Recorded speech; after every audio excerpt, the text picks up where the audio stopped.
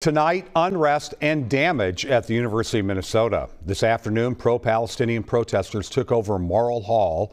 That's the building that houses the university's administrative offices. Today's action follows last spring when pro protesters camped out on the mall for days.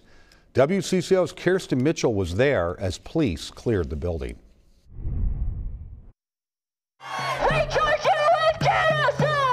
Pro Palestinian protesters took their message from Coffman straight to Morrill Hall, where they entered the building and took over, raising a Palestinian flag and renaming the building Halimy Hall in honor of a content creator killed in Gaza.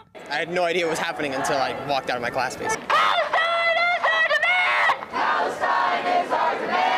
It's been building, and this is the explosion. Max, a protester and freshman, says protesters are calling on the university to end institutional neutrality and economically and academically divest from Israel. You are showing a bias if you're refusing to speak a word about what's happening to the Palestinians, but you are still sending money to Israel. You are picking a side. You are showing what side you land on.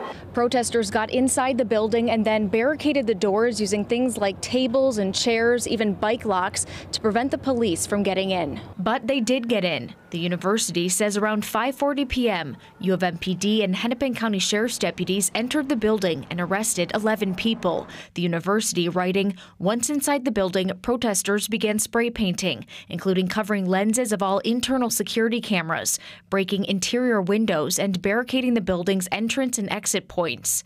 They say staff were working at the time and some couldn't get out for a while. The damage left behind is still being assessed. Coming to university is about broadening your worldly view, and this is the best way I can see to do that. This is what matters to me, and I'm willing to put it at risk. In Minneapolis, Kirsten Mitchell, WCCO News. Some protesters continued to rally later at the Hennepin County Jail. We'll let you know if any charges are filed.